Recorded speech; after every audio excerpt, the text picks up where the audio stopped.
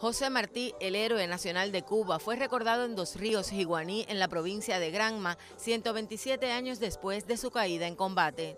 Mantener vivas las ideas del maestro y a la vez enaltecer la imagen del lugar que celebra su centenario fue el propósito del espectáculo artístico diseñado para ocupar todos los espacios dentro del monumento erigido a la memoria del apóstol.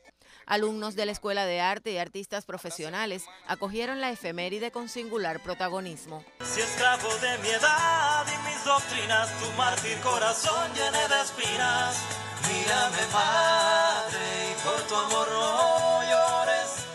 El homenaje incluyó la escenificación de obras martianas, textos de José Martí que trajeron a la memoria de los presentes quién fue ese hombre al que debemos legítimas ideas de libertad.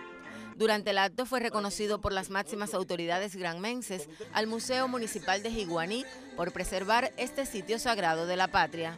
En nombre de los jóvenes, Liliana Suárez Pérez de la Universidad de Granma recordó la impronta del más universal de los cubanos. Es una de esas fechas que nos conmueve siempre. No significa la pérdida de un hombre más, sino la pérdida de la mente más brillante de la nación, el pensador de todos. Hablamos del Martín Infante, capaz de transmitir emociones a las niñas y niños con sensibilidad y amor.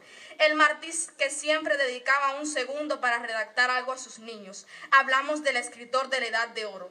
Bajo sus ideas hemos crecido y mucho ha aportado a nuestra formación. El homenaje en Dos Ríos contó con la presencia de una veintena de niños y adolescentes de todo el país, ganadores del Salón Nacional de Plástica Infantil de donde crece la palma en su edición 27, que refleja al poeta desde el imaginario de los más pequeños. Cerró el espectáculo en Dos Ríos, la confluencia de dos generaciones y el tema musical de Polo Montañés, homenaje a Martí.